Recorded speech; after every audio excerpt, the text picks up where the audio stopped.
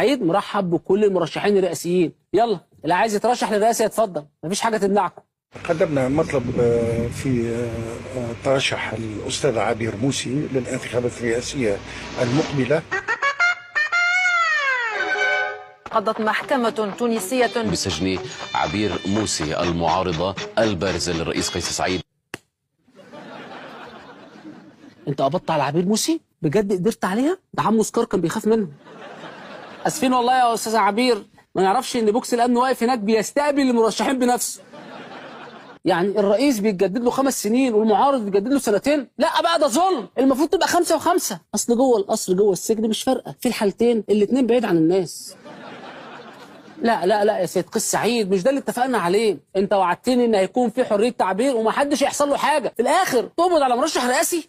النيابة هي التي تحركت من تلقاء نفسها. مش أنا والله. وربنا معنا دي أختي معنا دي النيابة الشريرة اللي ضد الحريات هي اللي أمرت بالقبض أنتوا عايزين الرئيس يتدخل في صلاحيات القضاء ومؤسسات الدولة؟ الرئيس قيس سعيد يعمل كده؟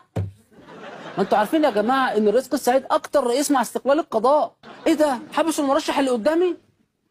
خلاص بقى مضطر أكمل في السلطة أعمل إيه؟ بس خلاص ماشي. أنا مصدقك يا سيد قيس. تقريبا كده إحنا ظلمناك والنيابه هي السبب في اللبس ده صح؟ طيب يلا يا مرشحين الرئاسة. يلا السيد قيس سعيد وعدنا إن هو مش بيقبض على حد. أنا سمعت إن السيد لطفي المرايحي قدم ورقه للترشح لرئاسة الجمهورية. خلينا بقى نشوف هل برنامجه هيكون قوي وهيقدر ينافس بيه الرئيس قيس سعيد ولا لأ؟ لا يمكننا أن نظل مكتوفي الأيدي أمام حجم الدمار الذي يصادر حاضرنا ومستقبل أمتنا.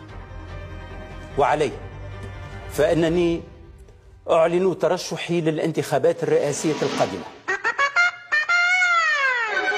وألقت الشرطة القبض في حق رئيس الحزب الاتحاد الجمهوري لطفي المرايحي بسجن ثمانية أشهر مع المنع من الترشح مدى الحياة. من أجل تبويض الأموال وتهريب مكاسب للخارج. قبض عليك؟ أنا آسف. اخص عليك يا لطفي يا مريحي معقولة؟ يعني أنا عمال أكبر فيك عشان تبيض وشي. في الآخر تلبس قضية تبييض أموال. بعدين معلش أنا عندي سؤال للسلطة التونسية. إشمعنى ده 8 شهور وعبير موسي سنتين ها؟ لا مش قصدي حاجة بس الاثنين أعلنوا نيتهم الترشح. ولا ده نيته ما كانتش سليمة؟ ولا لا يمكننا أن نظل مكتوفي الأيدي. آه والنبي يخليكم مكتوف الأيدي يا توانسه اللي هيفرد إيده هيلبس كلبش. لا يا جماعة مش دي تونس اللي كنا بنغش منها وكانت الإجابة لكل الأسئلة. معقولة تونس بتضيق على مرشحين الرئاسة؟ لم أضيق. على أحد يطبق القانون على الجميع على قدم المساواة. لا في دي معاه حق. معلش يعني شوف كده حد اترشح وما اتقبضش عليه؟ مستحيل. كله يابا متساوي جوه القفص. أنا عايز أقول لكم يعني في جوة تعددية سياسية يعني مش موجودة بره. إسلاميين وليبراليين وعلم. كل أطياف المجتمع موجودة إن شاء الله جوه. يلا اعملوا بقى انتخابات جوه والعبوا مع بعض.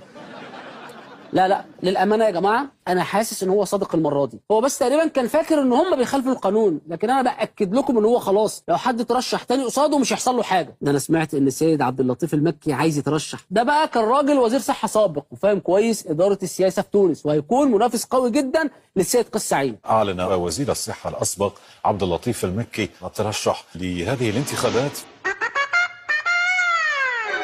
قضت محكمة تونسية بالسجن مدة ثمانية أشهر على عبد اللطيف المكي إلى جانب أربعة ناشطين آخرين وجهت إليهم تهم افتعال التزكيات الخاصة بالانتخابات.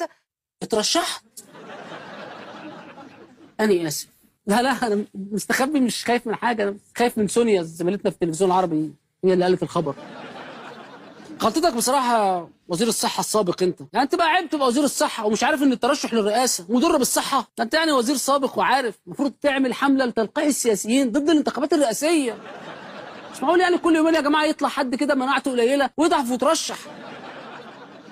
طب كده اتفضل مين يا جماعة ينافس قيس سعيد؟ يا سيد قيس يعني هتنافس مين حضرتك دلوقتي؟ تحب نبعت لك عبد السند يمامه من عندنا ست شهور مع حقية الشراء؟ طب نرجع تاني لعبد اللطيف المكي يا جماعة. معلش يعني هو اتقبض عليه ليه طيب؟ بتدور توكيلات؟ اخصى عليك ده انت قلود قوي بجد. بتقلد طنطاوي بتاعنا؟ ها؟ يا أحمد الطنطاوي مش أنت كنت مع الثورة وعلى طول بتقول الإجابة تونس؟ آه تونس بتقول لك طب الإجابة طلعت مصر يا اخويا ينفع كده يا سيد قيس سعيد يعني أنت أكتر واحد استفدت من الديمقراطية التونسية وعارف إن الرئيس بيجي بالصندوق أنت نفسك جيت بالصندوق. الصندوق مش معناها إن أنت تلم المعارضين كلهم وتحطهم في الصندوق.